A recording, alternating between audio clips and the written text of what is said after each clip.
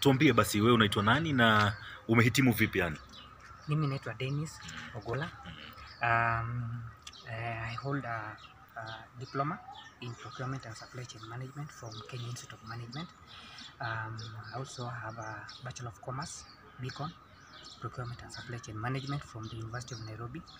And uh, as at now, I'm working on my last part of my coursework, um, MBA, Masters of Business Ad- Administration, Operations Management option from the University of Nairobi. Mm -hmm. Apart from that one, I also have a, a certificate in, in strategic planning and management of projects from Kenya Institute of Social Work.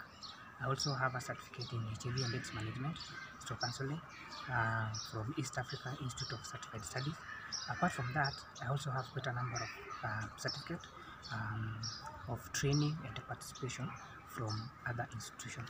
Mm. yeah. So so Dennis, uh, tunaambiwa kwamba wewe sasa kando na hizi qualification zote you are you, you've been forced to to sell eggs so that you can be able to survive.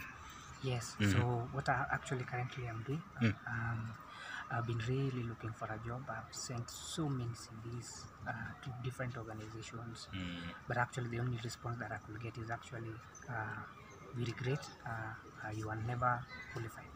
And so um, I decided maybe to start just a small business of selling eggs. I buy eggs, I boil them, and then sell. Mm. How does that make you feel after hustling in school and you know excelling in your academics and someone to tell you that you are not qualified? How does that make you feel? to to a greater extent, not even to some extent, but to a great extent, I feel bad. I feel demoralized uh, based on my background. Mhm. I've come from a very very humble background, and uh, ever since I was small, I used to be told, Dennis, you know, in order for you to change uh, your life and also to make a difference, Mm. even to your family and to the society at large, you really need to work very hard Mhm. and uh, to work very hard in books.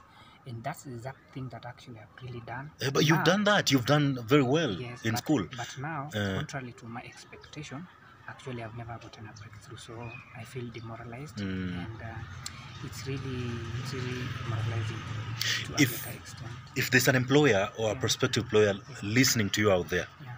what is one thing you can be able to tell them about yourself, about what you can do?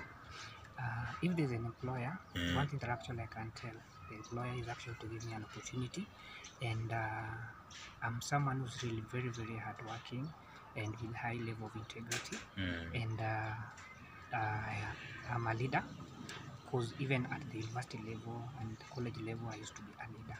And so, given an opportunity, I can transform the organization in terms of the operations Mhm. and to reduce the cost and to, to make it to become in a, to reduce the cost and to make it to become very very quality.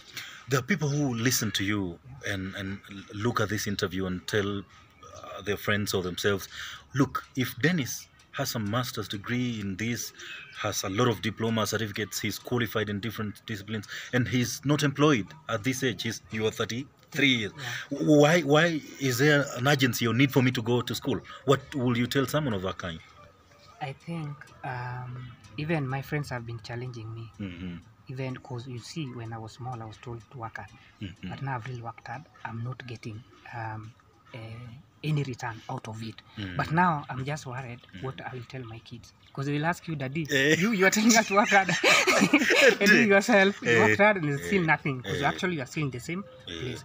It's really very tricky, and uh, even to most of the youth because they are in that trade-off. Mm. Should I go to school work or should I take that money And uh, do to something, invest in do something else. So it's really a bit tricky because it's really uncertain. Yeah. Who do you think is actually let down in this situation? Is our system working to the betterment of all of us? What do you think is the problem? You've gone to school, worked hard through all those steps, qualified nicely as it should be, but, but at the end of the day, you know, we are at this level. Wh- wh- What is the biggest failure you think might have contributed to this predicament? I think the, the biggest failure mm. within the country, because you know this Kenya is our country, Mm. all of us, really Mm. our country. But now the thing is, the the the leadership itself, because you see, if actually we really have the right leaders in place, Mm, then it means that even the youth even those actually who have really uh, they are qualified, they will be given opportunity Mm. to showcase to, to showcase what actually they are capable of. Mm. But now, due to um, uninterrupted kind of and also poor culture of leadership within the country, Mm. you find that people who are not qualified are the one who are being given the opportunity Mm. to work. Yet those ones who are actually very qualified, they are being denied the chance, and it's really a sad story. It is a sad story. Well, Dennis, we wish you all the best. We are very sure that someone out there will actually look at this and give you an opportunity because we've interacted with you on a personal basis, and you you you are that guy. You're that guy. You should put a smile on your face, man. Thank you. Bana. Thank you.